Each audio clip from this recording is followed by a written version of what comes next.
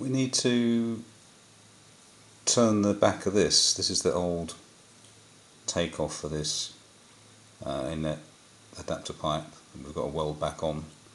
Um, and this has still got some of the old weld and looks like some of the old pipe still attached to it. So I need to turn this and what I really want to do is hold it on the inside and obviously turn it here. So in order to hold this we have found an old homemade kind of an expanding collet um, which a little bit of an adaptation is going to do the job pretty good. Let's take a look at that. This is the mandrel that came with uh, when I bought one of the other lathes that we've got. Um, it's a homemade affair. Backside of this screw has been turned to taper, corresponding taper inside here so that when you tighten it up it expands the the ting um, to grip the piece that you're putting on it. So I've just skimmed this, not very much, so that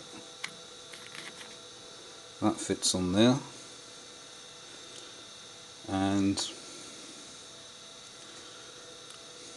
I can find the Allen key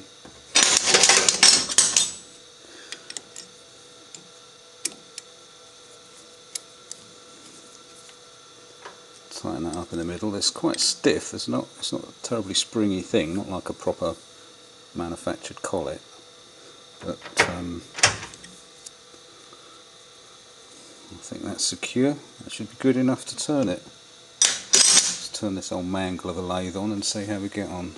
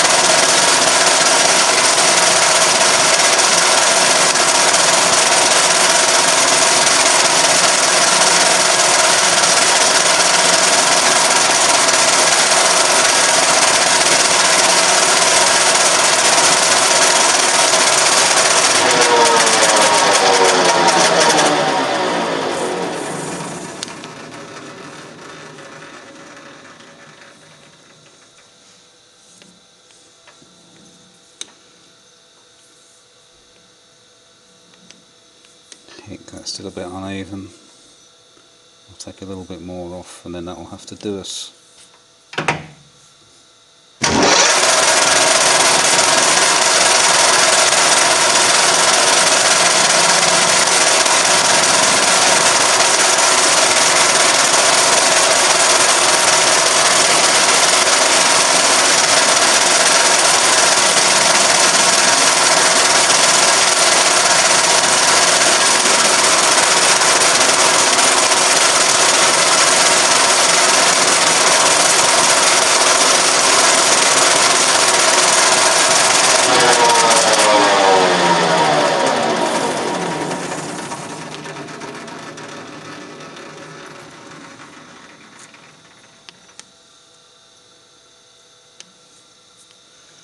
Yeah, I think that'll have to do.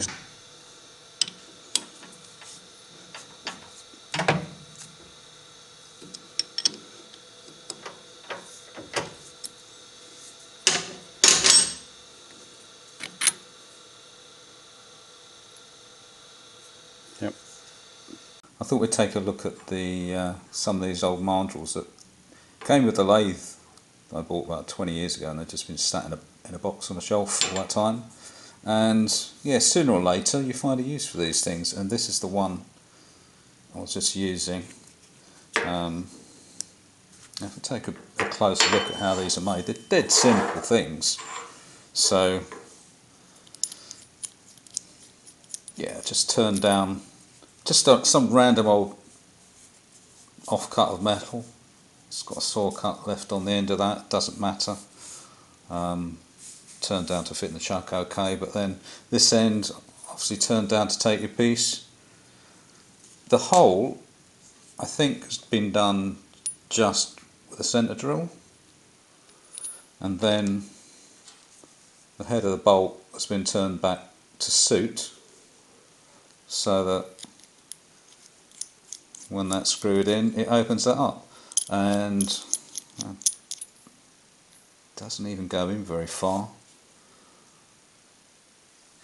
so you've got a groove here behind where your part butts up against to give it some uh, flexibility so that the thing will actually expand. And then obviously some slots cut in it. And they're just rough cut with a hacksaw. Don't need to be straight at all. Just needs to do the job. So yeah simple as you like um, handy things to have and I think all of these ones here that I've got take the same screw in the end smaller one here for a what, smaller diameter piece, a little bit shorter, but exactly the same sort of thing. This one's actually drilled all the way through, tapped. I think this is an M10 bolt. Got a bigger one here, similar again. Very obviously just at um, the end of a bar, just happened to be lying around. So yeah, they don't need to be pretty at all. Um, another one here. So obviously take a longer piece, and this has just got one split down the length. And of course, another way of doing it would be to not not to split it, but to have a just a fat washer on the end. If you just got a ring a thin wall piece of tube, a short piece of tube that you just want to skim the OD on. Stick it on there, clamp that up. Again, pretty rough old things, but if you you don't want to spend time making these things look pretty, they just need to do the job. Slight variation. This was something that I made using the same sort of principle. Yeah, wonky saw cuts. And I just used a countersunk bolt here, just a standard 90 degrees. That doesn't actually work as well as a 60, 60 degree one. This is better. Um, but this wasn't actually for turning, this was just to hold something, a very thin sheet metal pressing that I needed to hold to polish across the top. So yeah, same sort of thing. Put your piece on there, do the bolt up, that expands and holds you part.